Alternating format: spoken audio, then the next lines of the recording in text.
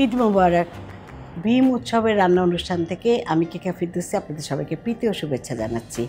উৎসব মানে আনন্দ, আর উৎসব মানে পরিবারের সবাইকে নিয়ে আমরা মজাদার কিছু খাবার রান্না করি, তারপর সবাইকে নিয়ে আনন্দ করে খাই। ঈদের সময় এই মজাটা পারিবারিকভাবে আমরা সবাই পাই। আজকে আমি ভীম উৎসবের রান্না, এই অনুষ্ঠানে আপনাদের একটা মজাদার খাবার রান্না করে দেখাবো। তা হলো চিকেন দম বিরিয়ানি। এখন দেখুন যে দম বিরিয়ানিটা আমরা কীভাবে রান্না করব। এখানে আমি একটা হাঁড়ি রেখেছি। চুলার আঁচ একদম কমিয়ে রেখেছি হ্যাঁ? কমিয়ে রেখে এখন দেখুন দম বিরিয়ানিতে আমি কী কী দেবো। এখানে চিকেন দম বিরিয়ানি বলছি, যার জন্য আমরা কি করব? চিকেন দেব। এখানে আমি চিকেনের রান রেখেছি, ছয় পিস। সেটা দিলাম এই হাঁড়ির মধ্যে। যেহেতু আমরা ছয় পিস রেখেছি, এখানে কিন্তু এক কেজি চিকেন আছে। আমি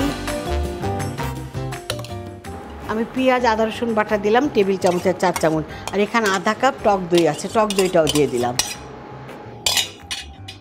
টক দইটা দেওয়ার পর এখানে দেখুন লবণ দেবো আমরা।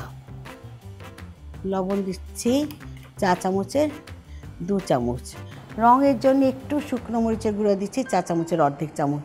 আর আমরা জিরা আর ধনের গুঁড়া, চা চামচের এক চামচ দিলাম। আর গরম মশলা গুঁড়াও চা চামচের এক চামচ দিলাম। চিনি দিতে হবে, চা চামচের দু চামচ চিনি দিলাম। তারপর এটার ভিতরে আমরা কিছুটা বেরেস্তা দেব। দিয়ে এখন ভালো করে এটা আগে আমাদের চামচ দিয়ে মাখিয়ে নিতে হবে।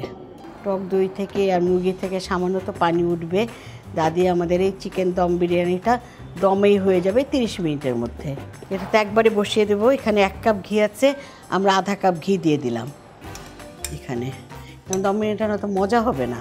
দর্শকরা, এখানে দেখুন আমি হাফ কেজি বাসমতি চাল জাস্ট একটু আধা সেদ্ধ করে রেখেছি।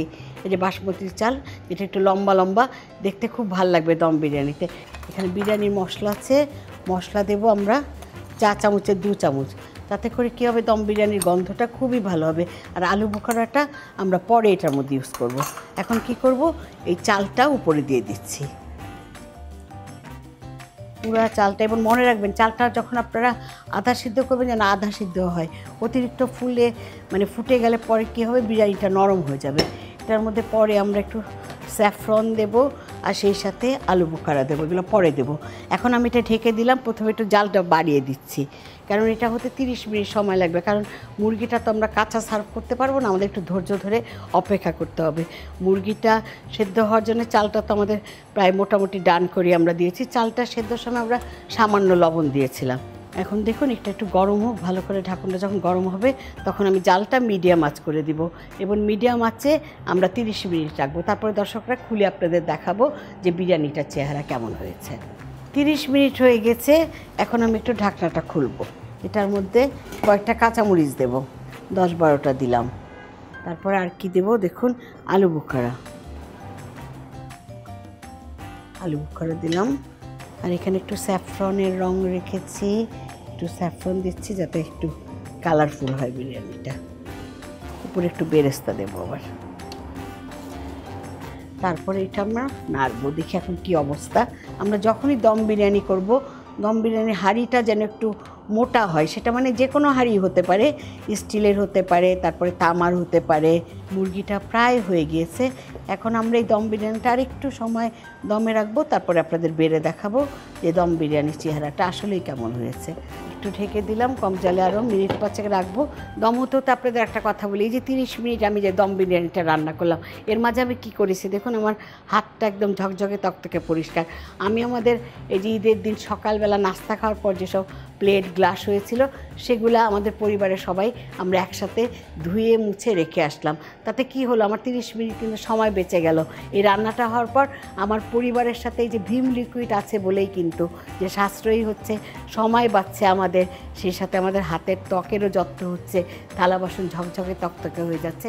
পরিবারের সঙ্গে আমি অনেক বেশি সময় কাটাতে পারছি ঈদের দিনে। পাঁচ মিনিট হয়ে গিয়েছে, এখন এই ঢাকনাটা আবার খুলে ফেলব আমরা। আসলে অনেকে ভাবতে পারেন যে তিরিশ মিনিটে কি সম্ভব? সম্ভব অবশ্যই। আমার মনে হয় যারা কোনো দিন মানে দম বিরিয়ানির কথা শুনলে অনেকে আবার ভয় পান যে, ভাই, দম বিরিয়ানি রান্না করব, কতক্ষণ জানি লাগে? ওই বাবুচিরাই পারে, আমরা পারব না। কিন্তু আসলে না। দেখুন, কত ভালোভাবে হয়ে গিয়েছে দম বিরিয়ানিটা। দেখুন, চিকেন বিরিয়ানিটা হয়ে গিয়েছে, এখন এটার উপরে আমরা সামান্য বেরেস্তা দিয়ে দিতে পারি। একটু বেরেস্তা দিয়ে দিলাম অল্প করে।